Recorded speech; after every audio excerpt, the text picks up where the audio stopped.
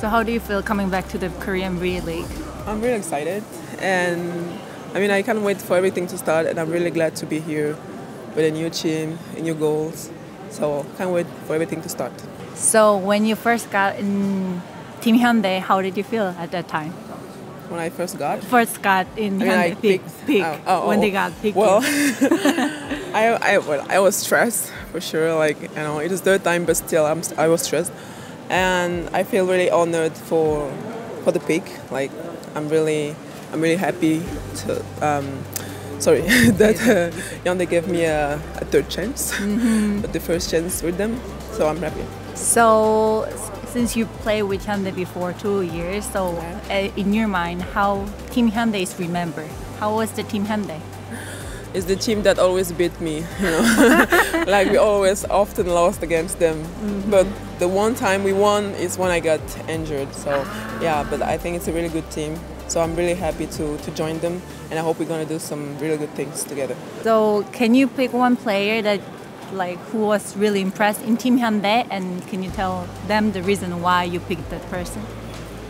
Okay, but I'm not really sure if it's gonna be good for me to not remember her name. But it's the middle, number 14. 14. Mm-hmm. Hyojin. Yeah, I mean she's not that powerful, but she's really smart, and it's really hard to play against her because she's tall, and she's you know like she knows where she knows what to do.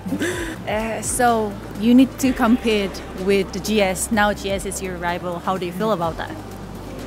well, it had to happen one day, right? so, well, I'm ready. I will just wait for everything to start. I don't put pressure to myself, and let things go how it should go. Uh, so do you have any goals for the season? Yeah, first of all is to to stay focused on my season, um, not be injured, even if it doesn't depend on me. Uh, do my best for the team. Um, keep bring all my power, my strength, and also if pos- uh, sorry, I'm tired.